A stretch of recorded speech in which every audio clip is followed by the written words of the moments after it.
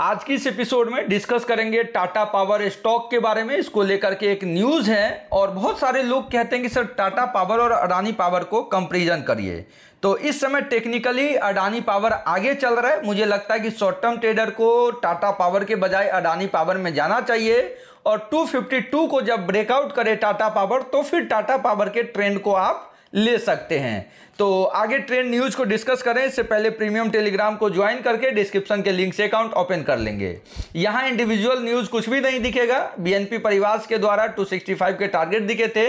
Last time जो हमने Tata steel के साथ जो कंपनी को ऑर्डर मिला था, वही कार्य करते दिख रही है और ये कार्य कहाँ हो रहा है? तो जमशेदपुर एयरपोर्ट के पास। यहाँ देखेंगे सोनारी में कि Tata power is proud to commission the ground mounted solar power project जो है कार्य करते दिख रही है, जो डिलीवरी तो ठीक ठाक है, लेकिन टेक्निकली वीक है, और मुझे लगता है कि एक बार ये जो सप्लाई जोन है, इसको ब्रेकआउट करने दें या फिर लोअर लेवल 218 के लेवल का वेट करें। हालाँकि अभी भी वीक नहीं है, अपने सपोर्ट को रिस्पेक्ट कर रहा है, फिर भी इस समय शॉर्ट टर्म ट्रेडर इग्नोर करे। Adani power more than 8 percent की तेज़ी रही मल्टीपल एफआई के एक्विजिशन रहे हैं। यहाँ देखेंगे जी जी और मॉर्गे सॉरी हमने और भी कुछ एक्विजिशन आज देखा है।